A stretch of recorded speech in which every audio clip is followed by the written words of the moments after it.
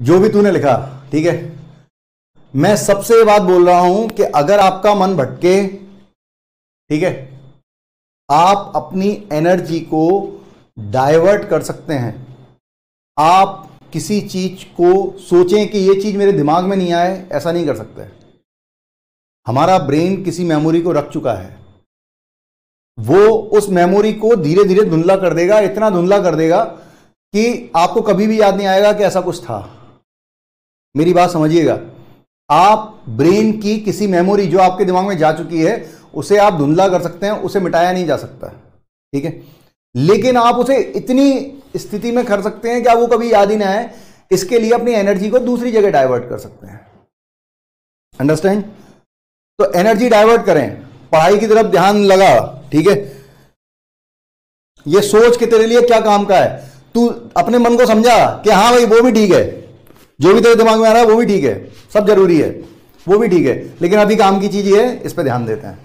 किसी चीज़ को हटा नहीं सकते अपने दिमाग से। आप अपनी एनर्जी डाइवर्ट कर सकते हैं। डाइवर्ट कीजिए। ठीक है? की ज़रूरत है, काम करने की ज़रूरत है। और उसमें दिमाग ये रखना चाहिए कि हाँ ये मेरे काम का है, इसलिए मैं कर रहा हूँ। और खुद को कभी ग्लानी में मत भरो कि मैं गलत कर रहा हूँ या मैं ये काम गलत करता हूँ या मैं ये गलत सोचता रहता हूँ। कुछ भी नहीं। अपने दिमाग को समझाओ कि हाँ जो तू जो तू कर रहा है ना, जो तू सोच रहा है ना, बिल्कुल सही है। अपन चलते रहेंगे इस पर लेकिन अभी ये ज़रूरी है। तो आपका दिमाग, आपका मन मान जाएगा, ठीक है? जैसे जैसे एक किस्सा है कि एक महात्मा जी थे, संत महात्मा जी थे, ठीक है? किसी पहाड़ी पर रहते थे और उसके आसपास करीबन पचास के करीब गाँव थे। और लोग अपनी अपनी छोटी छोटी परेशानियाँ लेके वहाँ पे पहुँचते थे।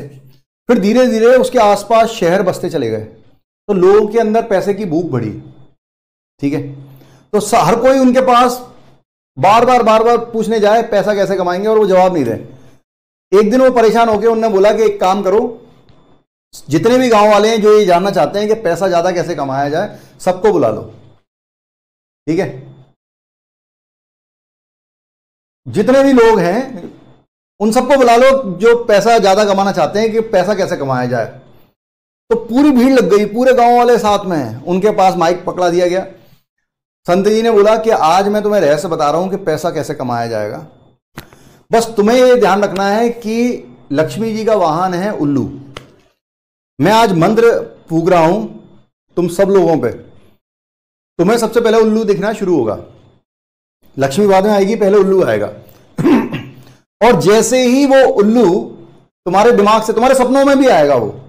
तुम जब जब आँखें बंद करोगे, तुम उल्लू दिखाई देगा। जिस दिन वो गायब होने लगेगा, तुम्हारे घर में धन वर्षा होने लगेगी ठीक है?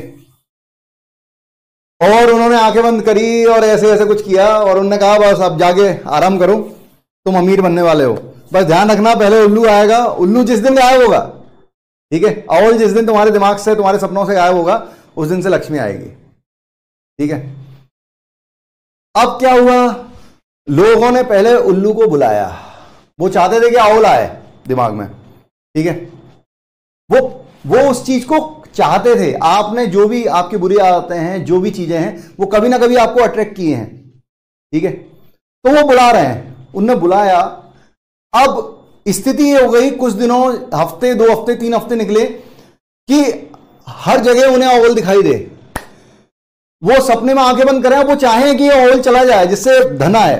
वो ओवल जाए नहीं, वो और दिखाई दे। वो दिन में आँखें बंद करें तो दिन में दिखाई दे, रात में आँखें बंद करें तो रात में दिखाई दे, क्योंकि आप यूनिवर्स को समझें, यूनिवर्स में नो वर्ड नहीं है कि ये काम नहीं हो, ऐसा नहीं है। यूनिवर्स नो नहीं लेता। आप भगवान से मांगते हैं कि भगवान, ये काम नहीं हो। तो वो नहीं हटा दीजिए। तो नहीं हटा दोगे तो क्या है? ये काम हो। तो यूनिवर्स केवल क्या आप चाहते हैं वो लेता है, क्या आप नहीं चाहते वो नहीं लेता। तो तीन हफ़्ते, चार हफ़्ते के बाद धीरे धीरे भीड़ लगने लगी उनके पास कि महाराज जी, हमें पैसा नहीं चाहिए, ये उल्लू से आप हमें बचा लीजिए। हमारा जीना दुश्वार हो गया, ये उल्लू हमें पीछे नहीं छोड़ रहा। तो उन्होंने कहा, फिर सबको बुला लो। सबको बुला लिया, उनने मंत्र ऐसे करा उन्होंने कहा, आज से उल्लू नहीं आएगा। ठीक है? तो बिल्कुल ऐसा ही है। ये साइकोलॉजिकल है जो आप पूछ रहे हैं।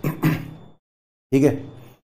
तो अगर आप अपनी एनर्जी चाहते हैं कि आपके अंदर वही एनर्जी, वही पावर बना रहे, जो प्रीवियस, जब आप ड्रॉप लिए थे, जो जोश था तो वो आपके हाथ में है, अपनी एनर्जी को डाइवर्ट करें। किसी चीज़ को खत्म मत कीजिए।